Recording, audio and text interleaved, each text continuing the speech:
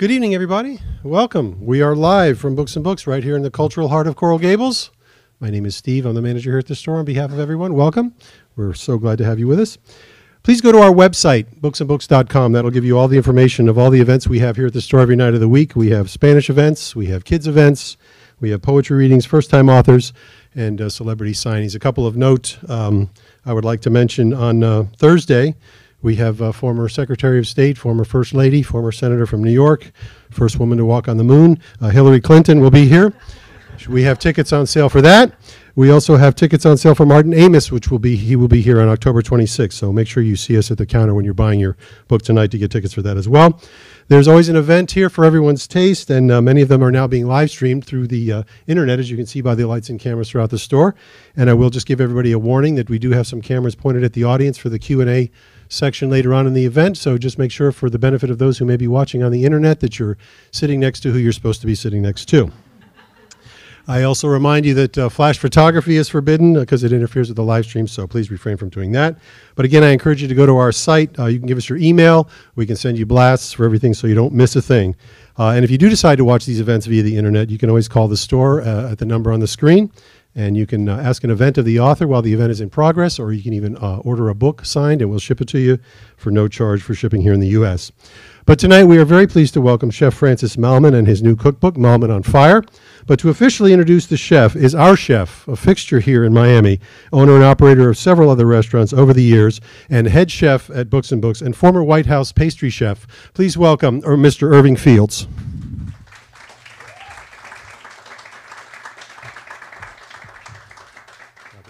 Did was taste the pastry, please. Anyhow, we're very happy this evening to have one of my heroes, Chef Francis Mallmann. He is the reigning star of food television in the Spanish speaking world and now getting accepted all over the world. He's the most popular and famous chef in South America. His first book, Seven Fires Grilling the Argentinian Way, introduced readers to the flavors of traditional live fire cooking. We wanted to do a big fire in the courtyard this evening, but I think Coral Gables objected to it. He has res- he has three restaurants, one in Mendoza, the Argentina in the Argentina's wine country. We have some fabulous wines this evening, courtesy of the chef. Another is in La Boca neighborhood of Buenos Aires, and the third in the picturesque village of Garzon in Uruguay. Today, and the Times, the United Kingdom, have named his restaurants amongst the top 10 places to eat in the world. One of my favorite quotes about the chef he thinks big, lives large, and his food, at once rustic and elegant, is filled with joy. Ladies and gentlemen, Chef Mallmann.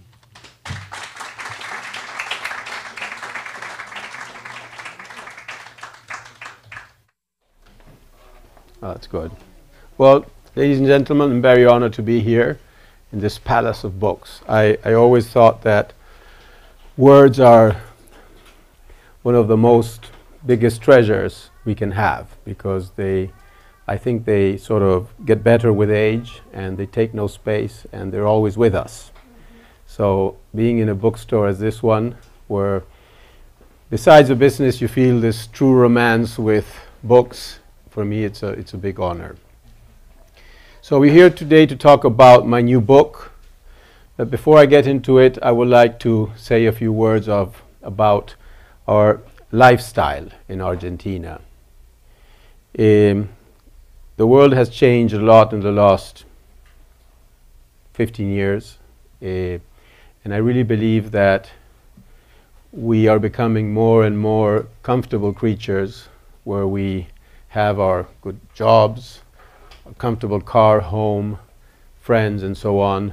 And we seem to take less and less adventures in life. And I think that's very important. I was lucky enough to be raised in a town in Patagonia called Bariloche, where we spent most of our day outside, at school and at home. And the truth is that the, those souvenirs of my childhood are the biggest tool I've had in my life for work, for happiness, and for adversity as well. And I see that we're sort of growing our children more and more inside, sitting in computers, far away from the cooking stove and other beautiful things we can do, and it makes me sad because I think that we have to let them out. It's a beautiful language in the wilderness, and if we can't go to the wilderness, even in the parks or by the seaside, as you have here. So, what I've been doing to do these last 10 years through my books and through my TV shows is to sort of take a torch of lifestyle into my audience and to make them think that it's not so difficult to grab a basket and put a couple of things in it and go and have a picnic. And if you think a bit bigger, you know, why not take a little portable grill or a chapa and if you have a permit, do a fire somewhere. It's quite difficult in America. Uh, and, and cook something because I think that uh, remembering that in the following week and the following months is, is always something that brings us happiness and that not only makes us happy but increases our knowledge of how we work and how, what we do with our life. So my message in this new book, as in the last ones, the last three I did, is a bit that. Let's get out of our chairs and go outside and do something different. So the language, I started cooking in Bariloche when I was about 18 in a tiny restaurant. And then when I was around 20, I, I had a couple of cookbooks then in that little town. And one was the Larousse Gastronomique, that's still on the shelves of many homes and libraries. And I had as well Mastering the Art of French Cooking by Julia Child and Simone Beck. I was lucky enough to cook for Julia 20 years ago here in Miami for an event I did for her. She was a wonderful lady and she did so much for the culture of America. And reading this book, books being very young, it made me dream and think that there were some pots and pans and herbs and meats and fish and wines and things that I could that I didn't know. And I started thinking that I had to go to France. So I moved to France. I did a first trip there, and then a second one, and then a third, and then I stayed for quite a while. And I was lucky enough to work in the late 70s and early 80s with some of the best chefs, three star chefs in France. I worked with eight, for eight of them. France was generous and rigorous with me uh, in a very nice way, and I keep, I keep her in my heart forever. And even though nowadays I cook with fires and it seems so far away from French cooking, uh, I can read in everything I do those roots of my French learnings, which were very, very important. And when I, I'm 58 now, and when I was sort of 40, I realized that I had achieved a lot. I had been working for 20 years in, in a cooking stove. I had had many restaurants on my own as a consultant working for others. But I realized that I didn't really have a language of my own. And, and so I thought, well, you know, what should I do? I've traveled around the world, I've cooked everywhere, or not, not everywhere, but uh, in many places. I've learned so much. So I just went down to my feet and I looked at the tools and my roots of Patagonia, and I started studying a bit the native cookings of Argentina, especially the ones of the Andes. Some of them of the rainforests that are in the boundaries of Brazil and Paraguay, which we call uh, La Mesopotamia in Argentina, some of the Pampas, and looking as well as the of the influence that fire had in the immigrations of the Spanish, of the French, of the English, and so on. So, as America and most of America, we are sort of a mix of so many influences. I mixed all that up and I started very slowly. It took many years uh, developing all these old. I didn't invent anything really. I just took, you know, things that I found on the road from my childhood and from learnings. All the tools and the ways of cooking that all these things had influenced in our country. So you see the little hell, which is an ad- adaptation of the ways the Inca cooked in the Andes in between two stones. I do it in, two, in between two irons. Uh, you see the rescoldo, which is cooking with old ashes or new ashes. It's very beautiful. It's very slowly. It's, it's what we do is we keep the ashes from the all the cookouts in a, in a barrel, and then we mix them up with whole coals, and there we sort of bury vegetables, even a trout that is wrapped in in a clay, and things cook very slowly to get this very beautiful smoky flavor, and it's called rescoldo. Then we have pit cooking, which is cooking in a pit with hot stones, which was something that the Indians of southern Patagonia did a lot. Basically, what they did was in the morning they would make a pit, a big fire, heat some rocks, put in a guanaco or a avestruz, which is like a ostrich or a, you know a llama, the local llama from down there, or any sort of animals they had, and sort of bury it on top of very hot rocks, wrapped in nalca leaves. Nalca is a beautiful plant we have in Patagonia in the in the Valdivian forest that is, you know, they're very big. Some of them, twice my size. So they wrapped the food with that. They covered it with earth again. They would sort of disguise the place they had it. And the incredible thing is that they, they had a day of hunting and working outside and came back at night after eight or ten hours to a hot meal that will last until next morning and so on. And it was a go- very good way of cooking while they were out, and nobody could find it because if you do it well, you don't see a trace of smoke coming out of it. The only thing you can feel if you touch the, the, the ground after four or five hours that it's slightly warm. So that was a way of cooking while hiding, which I think was great. That's what I think. I don't know why they did it, but uh, that's what I would do. And the nice thing about this curanto thing, technique, is that there are traces of curantos that are 12,000 years old. A bit like in America, all our natives were sort of killed by, you know, our militaries and different forces and different times of our history. And sadly, there are not many of them left. But we still have many tools to make more research on it, and we're working on it to understand Mao more how they lived and how they cooked, which is quite beautiful. Then we have the wood oven, which is very important in all our country, but especially in the north, in the provinces of Mendoza, La Rioja, San Juan, Tucumán, Salta, Jujuy.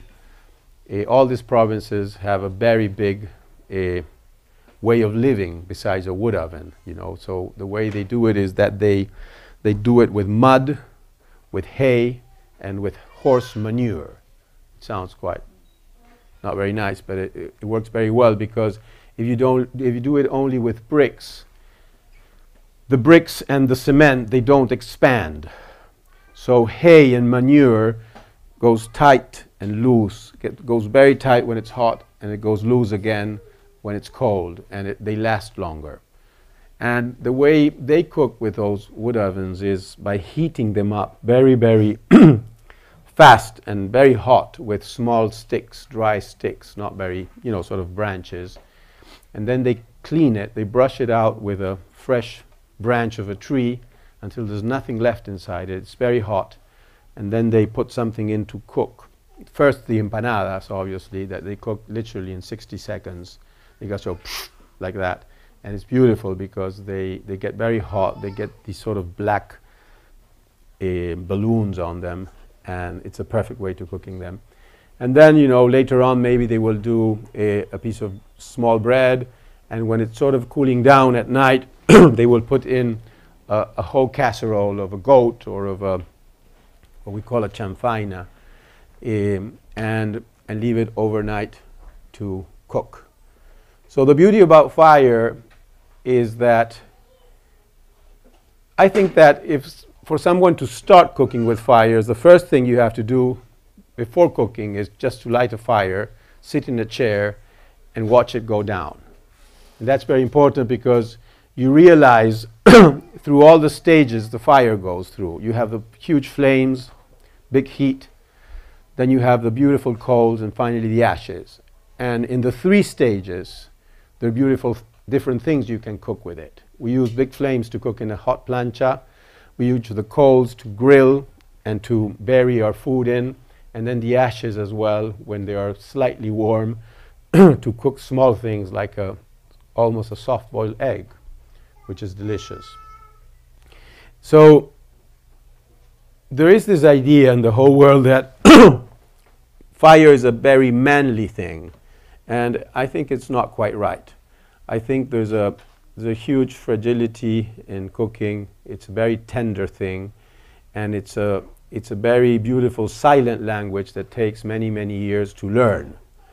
Um, and so it's not a brutal thing as we think, you know, that we burn a fire we, we and we, we, we, just cook something fast. Yes, you can do that. It can be delicious, but there's much more to it. And the beauty of it is thinking, as the natives of Patagonia did with the curanto, was in which ways you can use that fire for many hours doing different things. Once you built a fire and you're burning the wood, you know, why not have a grill and then cook something in the ashes and, you know, do something in the plancha and then at the end maybe bury some beautiful breads inside the coals and let them cook for two or three hours and, and they have this incredible, beautiful taste. Uh, ashes are quite healthy. I mean, I, I, can't tell you you have to go and eat a bucket of ashes, but if you if you cook a bread on coals and they're slightly covered with a little bit of ashes, it's quite delicious, and I can't imagine why it can hurt you. So I think that's something very nice to do. So if we think about fire, what I really like is that, you know, is that, for example, I love cooking with big planchas, as big as that table there, and we cut a very thick iron uh, of about half an inch or almost an inch, and we put legs on it. And the beautiful thing is that if this is my plancha here, and I put a fire on this edge here, a small fire, I will have in this part, on top of the fire, a very hot plancha to, you know, cook very fast uh, a steak, a thin steak, or um, scallop, or some shrimp, something small and things thing, uh, small and thin things. And then in this part here, which is quite warm too, but not as piping hot as that part, you can be smashing potatoes and doing a beautiful crust with them on one side with a little bit of butter for three hours or two hours. And then on the other edge, you can be, which is lukewarm, it's a very good temperature, for example, for do a pancake or to grill a little piece of cake or some fruits and so on. So, and that's a beautiful thing about a fire that you can use all these different temperatures at the same time to make a whole menu. Not only the steak or the burger, but you can go into doing very different things. So, uh, that's what I really like about fires. This new book, which is called On Fire, it's about a sort of a some travels, dreams I had in the last many years. I lived in France a long time, and some years ago, three years ago, I decided to go to Paris with my fires. It took us a very long time to get the permits, but we got permits to cook around the street in all the places that I loved when I was young and I was cooking there.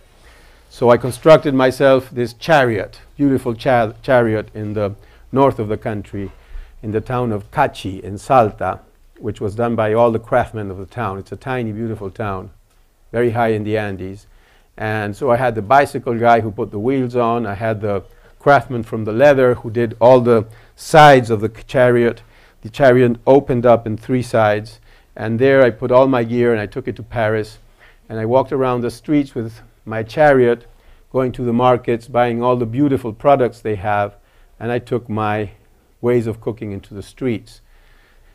And I went as well to most of the restaurants where I worked when I was young, and I just knocked the door with no, with no uh, letting them know beforehand. And I just said, you know, I worked here 30 years ago.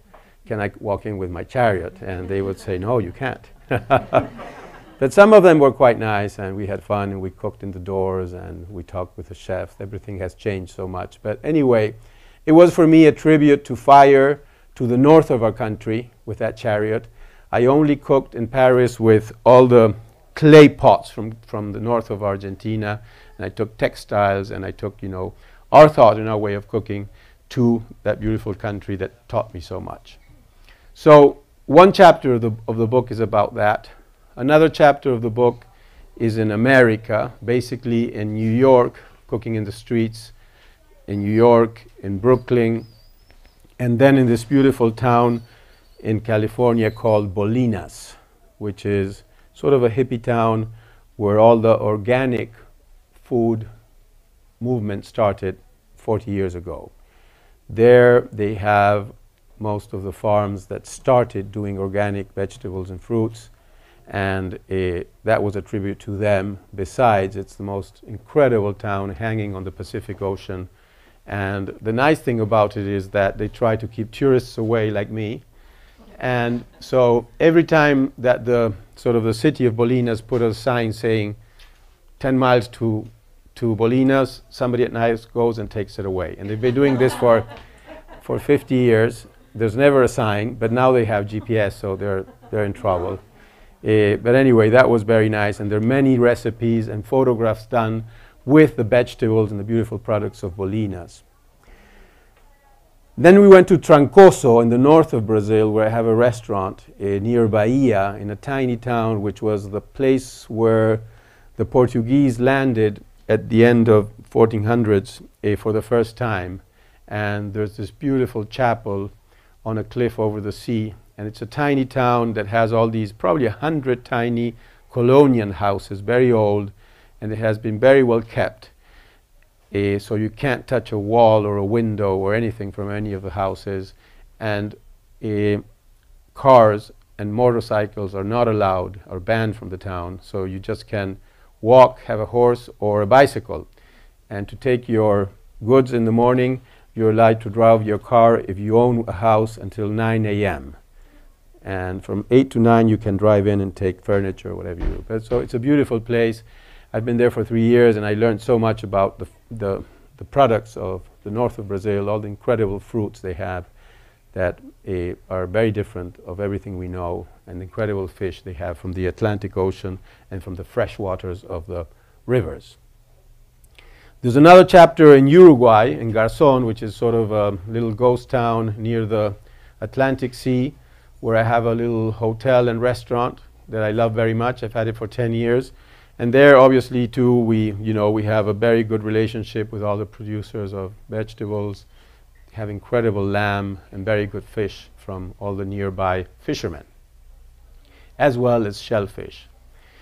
There's another part of the book which is in the Atlantic coast of Patagonia, which is quite untouched and very wild and remote. And what I did there is I did a TV series two or three years ago too, where I, I constructed this sort of movable hut that you will see in the in the book, which was my sort of my shelter during a month. And we moved it around the coast. So we would put it up in the morning, sleep there for a couple of nights, cook with all the local products, and then put it down in a truck and take it to another place, even to some islands around there. So that was a TV series, and there's a lot of that. And the beauty of that part is, well, first the geographical, incredible uh, beauty of the Atlantic Ocean and as well all the incredible fishes that I even didn't know we had. One, one which is very elegant with white meat, which is called escrofalo. Quite horrible name. Difficult to catch. It looks horrible, but it's delicious. Um, and then we have a chapter in, in an island I have in, in Patagonia, in a lake quite remote to very near the border with Chile in the Valdivian forest, and there obviously we have all the trouts and you know all the, the beautiful products of that area. So this book is a journey through places I love. You know, I I like to work in places where I lived that I know so I can talk about them without studying them. You know, sometimes my TV producer says, Oh, Francis, we want you to go to, I don't know, to Vietnam to do 10 shows. And I say, Well, I've been in Vietnam a couple of times. it's beautiful, but I, I, I don't know Vietnam. I can't talk about Vietnam, and I don't want to study to talk and recite as a you know as a little as a, raven. So um, this book is about that. You know, it's about places uh, I love. I know that I and uh, it takes all these techniques on a sort of a small portable. Obviously, in some parts there are big, huge fires that we did, but mainly it's done on a small grill that travels with me that changes in shape. Sometimes it has a plancha grill. It can become a little hell, el infiernillo, where we cook between two fires. And mainly it's about traveling around all these places and cooking different recipes, new recipes, with um, the products of the area. It has a new technique that started a year and a half ago, which is hanging things on top of a fire. That is something that I I really like and I've been doing in the last few weeks here a lot in America and different places. And what we do is we do very simple domes with rib wire uh, that we just put in the grass like this. And we do a fire, a circle fire around it. And with strings, we hang a beautiful fish on a bed of bamboo, you know, so it's flat. We, ha- we hang whole, whole uh, chicken. Uh, we hang you know, gigots of lamb or ribeyes on the bone that we cook for 12 hours. And again, going about again to what I said at the beginning, the fragility of fire is that if you cook a ribeye that it's, you know, a ribeye that it's about, let's say, 12 pounds on the bone, and you hang it at this height, and you round it with fire, not on the bottom, so you don't get the direct heat, but all of, you make like a circle of fire around it, the heat goes up like that. And it cooks it, cooks it very, very slowly. And what happens with that, with that muscle is that it stays pink or slightly red, all of it. You don't have different temperatures because of the length of the cooking. So maybe at the end we look for a crust outside by going down a little bit, but what happens inside is after 12 hours, when you cut it, it's extremely moist and juicy, and this happens with a chicken too and with a fish. And, and, and, and that's the beauty of cooking is slow things. And that's why I talk about the sort of womanly side of, of fire and the tenderness and the fragility of it. Once you learn it, there's so many, many things you can do. So this book called On Fire is about that. It's, it's going on with this path of and language of fires. And I feel, you know, that truly I didn't change anything in the world of cooking with fires. I just took part of our background and I adapted some things. And the beautiful thing is that there's so much more to do still, you know. I think that it's sort of a, even the, it's a, such a primal thing in the history of man, cooking with fires.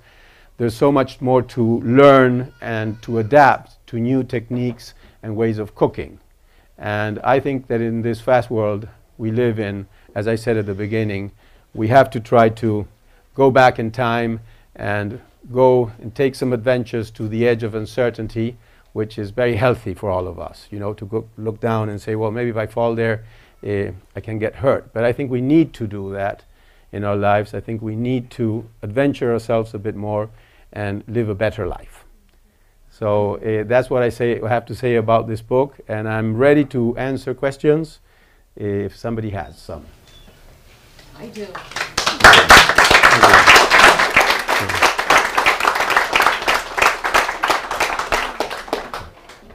Yeah, well, I'm Argentinian and I've been living in the US since 2005 and I love cooking. Eh, at home, I am the one who grills. It's not the, you know, the usual Argentinian thing that the guy grills is me. And uh, what I miss the most is, you know, our grills where you can go up and down and you Yes. can regulate and all that. Here you have to make do with a gas grill many times. Any particular tip regarding that? Well, gas grills. is a pain. Yeah, yeah. Well, gas grills can work. You know, Yeah. you have beautiful charcoal in America. You have a Weber, which is a great thing. You know, Uh, I like Webers. You know, it's a you can adapt it to our way of cooking. What I do is, if you want to cook with the Webers, you have two Webers, one to make the fire and to give charcoal constantly to your grill so you can cook slowly, and the other one where you cook. So that's good. And you know, I know it's difficult to cook in the floor here in the garden. You want to bur- burn all that beautiful grass you have at the homes, but Uh, maybe what, what, we, what you can do as well is, if you want to have a, a, a really good grill, is have just sort of a, a big piece of iron and a couple of, you know, eight bricks down. So you're on top of the grass, like about this height. You will never burn it because the, the heat goes up. And then on top of that, you can have a beautiful grill. And then you just dismantle it when you finish and keep it somewhere. And, you know, I don't Yeah, know. The big plan is to have a real Argentinian grill at the house. Well, that's coming in a couple of years. Yes. Yeah. Okay. Okay. Other questions? Yes. Yeah, you know, you, you spoke so movingly about how these, um, you know, uh, original cooking methods of Argentina, uh, you know, affected you. But could you also speak about, you know, how your time in France and, you know, what you learned, how that has also kind of influenced where you're at today? Yes, well, it, it influenced me a lot.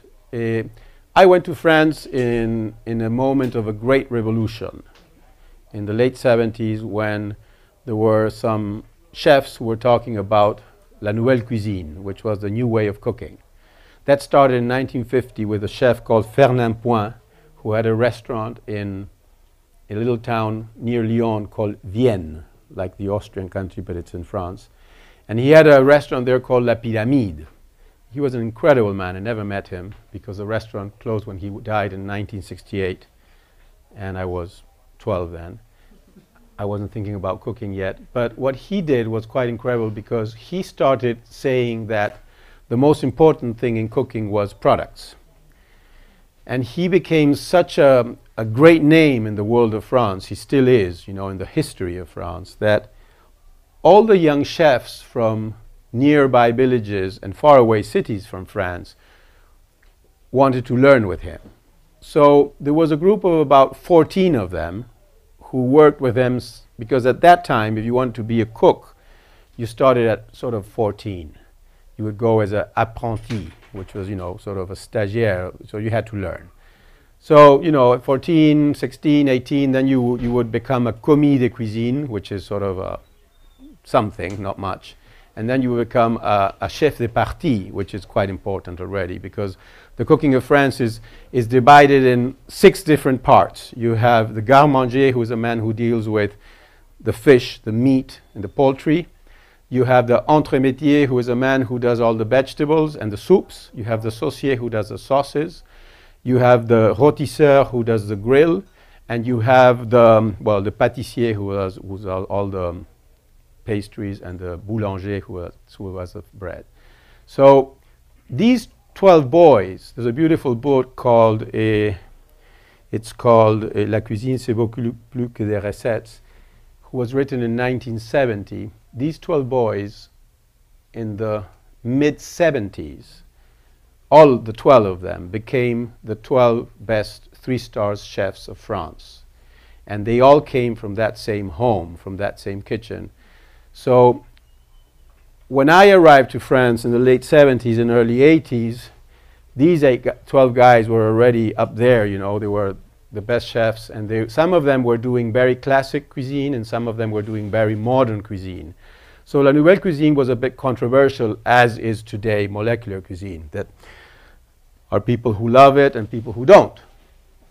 Eh, and I was, you know, I was lucky enough to work with many of them, but over the years, when I look back, obviously I was very impressed by the new way of cooking as a young boy, as everybody is, you know, you love the new. But when I look back nowadays, I feel that what most touched me and rooted inside of me is the, the cooking, the classic cooking of France, you know. It was there in the restaurants and the, of the classic cooking where I most learn, and I think that those tools are still very, very deep inside of me. And even, you know, I don't do a blanquette de veau or a bouillabaisse. eh, France is very present in my cooking, even with the fires. Yeah. Any other questions? Well, yeah, I may have another. My two daughters are vegetarians, so I'm learning, you know, new ways to roast veggies Yeah. on the grill. So I don't know. I do have my methods, oil and olive oil and stuff like that. I don't know.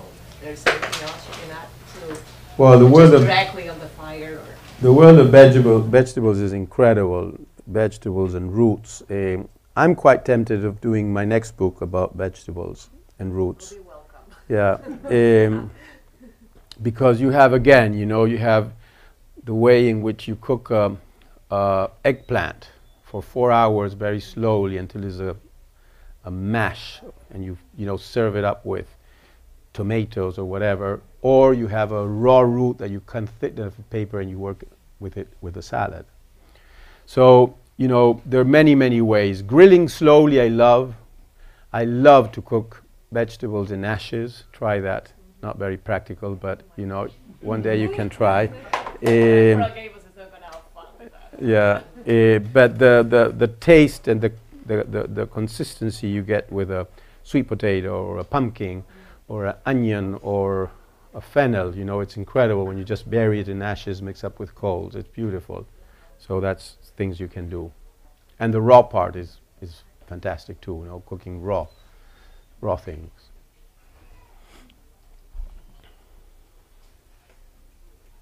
Okay. Well, that was. It's very nice that you came. Thank you. I'm very honored. Uh, I hope you enjoyed the talks. And I think now we have a bite there. Who did all that beautiful cooking? Did you do that? Actually, uh, some of that came from your book. Yes. We have, we have some nice uh, endives that are filled with goat cheese, a little orange, Ah. and and uh, it's re- uh, toasted uh, walnuts. And another one is some red botanist pears, which you suggested grilling. We wrapped it in a little prosciutto. We grilled it again. Oh, that's from the new So, book. uh, Very good. And there's lots of wine, so enjoy. Yeah, I want to thank bo- obviously Books and Books and as well Bodega Garzón from Uruguay who sent happily some cases of, of wines for us to drink. So thank you very much. Thank you.